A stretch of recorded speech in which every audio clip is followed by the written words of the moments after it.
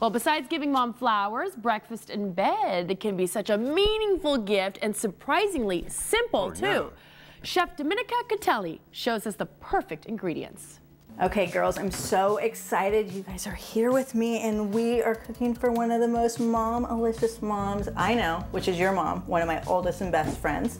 So we're gonna make her a delicious breakfast frittata, and I need your help, and I know how good you guys are in the kitchen. So you ready? Yes. Okay. We're gonna start with six eggs. So can you crack the eggs into this mixing bowl right here for me? You got it.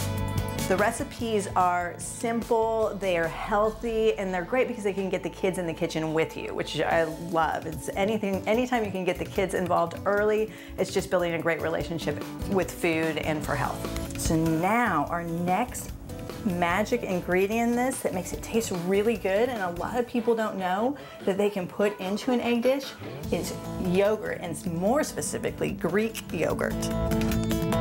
All my recipes I use as a guideline, so I want you to get as creative as you want. I need you to take a big scoop of this and put it into the eggs for me. You can use regular yogurt as well, but Greek is so thick and creamy and the organic non-fat means no extra fat and it makes it a really rich dish and it fluffs up nice and it's just a simple additive. And we're gonna throw in cheese. We have grated Mono organic Monterey Jack cheese. I'm gonna help you out. There we go. Get a big pinch of salt and we're gonna stir stir, stir. Another one? Give me one more pinch. Chives. Thyme is fantastic with eggs. Okay, girls, we're gonna put this in the oven for 15 minutes, and then we're gonna, while this is cooking, we're gonna finish up your mom's special breakfast in bed tray. Okay, girls, we're gonna make a simple parfait for your mom now.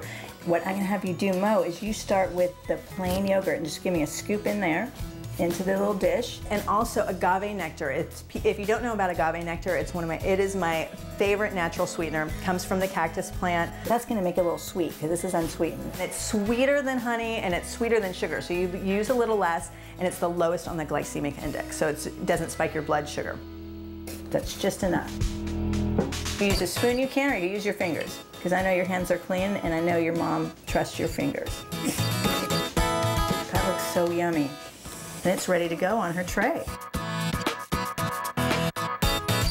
Okay, girls, that's done. Let's go put the tray together.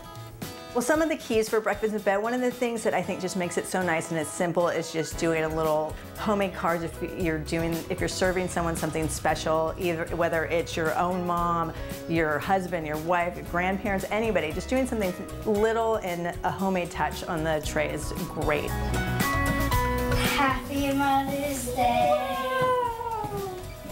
We love our mom because she devotes her time to us and she helps us when we need help, and she loves us.